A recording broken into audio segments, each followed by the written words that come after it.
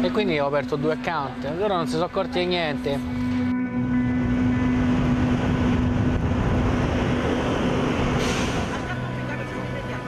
Io faccio andare, che ne so, un amico o qualcuno, loro lo scoprono o no? Magari di tanto in tanto pure mio cugino può andare, che vive basta, con... sì, sì.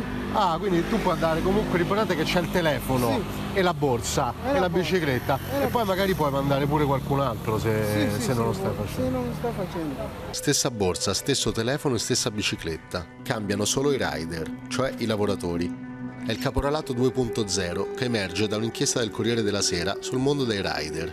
Chi non ha il permesso di lavoro sostituisce o addirittura paga una percentuale per usufruire dell'account di un altro. Mi fingo rider e chiedo a questo ragazzo se conosce qualcuno che vuole prendere il mio account per il prossimo mese. Mi dici pieni punti, 90. tu il tuo cellulare o il No, col cellulare, sì, sì. anche il tuo cellulare? Sì, sì, il cellulare glielo do io. Poi hanno che... Mi chiede se ho anche la bicicletta. Bicicletta senza le marce. Ah, ok, ok, bene.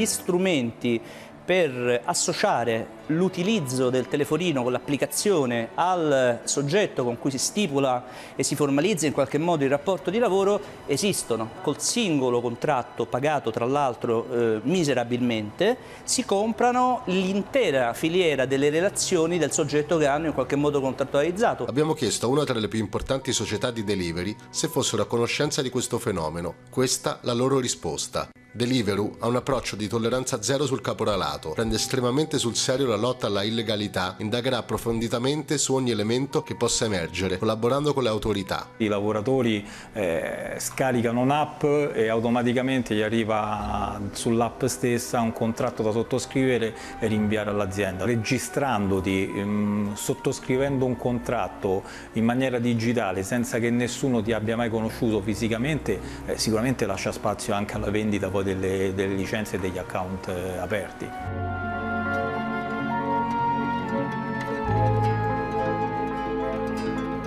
Marco ha aperto due diversi account, lavorando contemporaneamente per entrambi. Siccome ho anche una casa in- un paesino al mare, allora ho pensato mi apro un altro account in maniera tale che quando sto giù, boh, se voglio lavoro pure lì.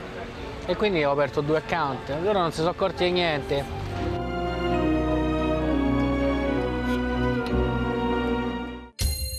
A questo